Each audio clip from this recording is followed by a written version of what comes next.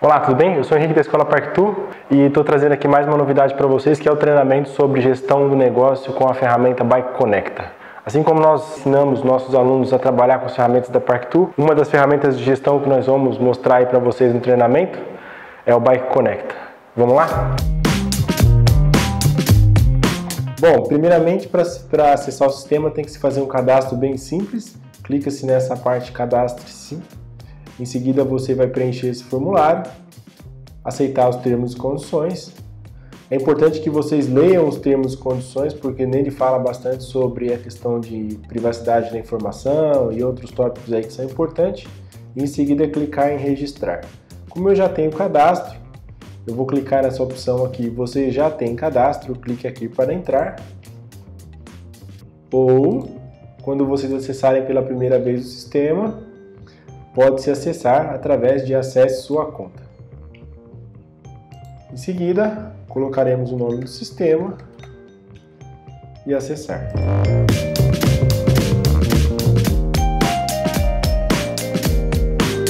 Caso vocês queiram, deixe essa opção de lembrar marcada, porque sempre que vocês acessarem a, o sistema, ele vai já automaticamente colocar para vocês como salvo. Bom, dentro do sistema nós temos algumas opções aqui que são básicas no sistema de gerenciamento, no ERP, que é emitir ordem de serviço, gerenciar produtos, gerenciar clientes e emitir relatórios.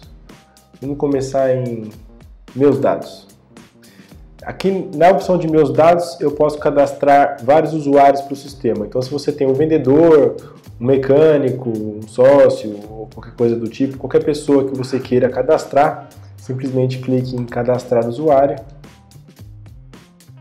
novo, coloco o nome da pessoa, novo usuário, esse é o nome do meu usuário, o cargo dele é gerente, indico o um e-mail,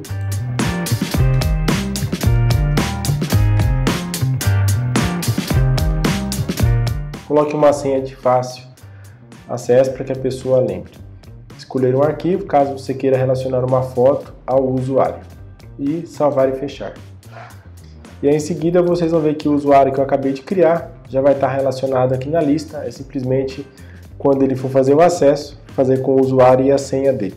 Próxima opção é gerenciar clientes. Na opção gerenciar clientes, nós temos o cadastro de vários clientes muito simples para se cadastrar um cliente também. Clica-se em novo. O código do cliente eu recomendo que vocês coloquem o CPF dele. 000 000 000 000 00. Só a título de exemplo. O nome do cliente. Paulo Roberto. O CPF eu vou novamente colocar aqui embaixo a título de emissão de nota fiscal, o e-mail do cliente, vendas.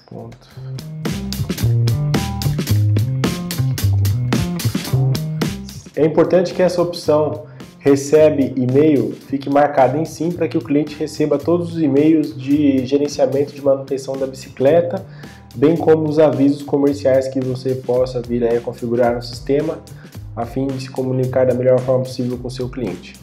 Coloque o celular do cliente, 11 9000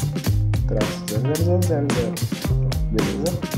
Telefone fixo, beleza? Endereço, inserir. É importante que o cliente tenha endereço, pois sem endereço não se emite nota fiscal. 294, que é o endereço aqui do Bike Conecta. Ah, sala 4. Endereço principal, sim. Bicicletas. É, aqui gente, nós vamos fazer a indicação da bicicleta que esse cliente tem. Então vou colocar aqui marca Fox, modelo Raven. Posso selecionar uma foto da bicicleta ou múltiplas fotos, fica ao critério de vocês. A data da compra eu posso colocar que foi hoje, caso vocês é, não tenham vendido a bicicleta hoje, é, coloque a data da compra como início de acompanhamento. Essas duas datas aqui elas ficarem iguais é importante. Caso vocês não queiram, é só simplesmente colocar a data que o cliente comprou a bicicleta. Foi dia 14 do 5, por exemplo. No dia 2 do 7 eu iniciei o acompanhamento da manutenção. Tipo de calculadora eu coloco mountain bike e aí em seguida eu envio para ele a solicitação de acesso ao Strava. Solicitação de acesso ao Strava. Esse cliente vai receber uma notificação por e-mail onde essa notificação vai solicitar para ele acesso às informações do Strava. Uma vez que ele liberar o acesso, o Bike Conecta começa a fazer o gerenciamento de quilometragem e horas de uso da bicicleta, de forma bem simples. Caso o cliente não utilize o, gerenciamento, o Strava como fonte principal de armazenamento de treino dele, a gente pode fazer essa conta por dia quantos quilômetros o cliente pedala por dia, uma conversa bem simples aí com o cliente, quantas vezes você pedala por dia, quantos quilômetros ou quantas horas. Pode colocar, vamos colocar que esse cara pedala 20 quilômetros por dia, pedala aí duas horas por dia, e aqui 0000, 00, duas horas por dia, tá? Dessa forma, o gerenciamento vai ser feito é, de forma natural e crescente, ou seja, a cada dia vai ser adicionado 20 km ao portfólio da bicicleta desse cliente.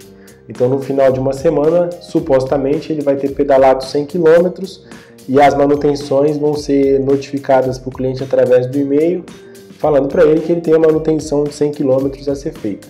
E essas manutenções vão se é, acumulando de acordo com o período passado a partir da data de início da manutenção. Em seguida é só vir aqui em salvar e fechar mas no nosso caso o CPF é inválido porque eu coloquei um CPF a título só de demonstração, ele não vai salvar e fechar, a não ser que eu coloque um CPF válido neste campo que está em azul agora, tá bom? É, uma vez que você salvar e fechar, o sistema vai trazer o cliente aqui para essa página e aí você vai ter acesso ao cliente.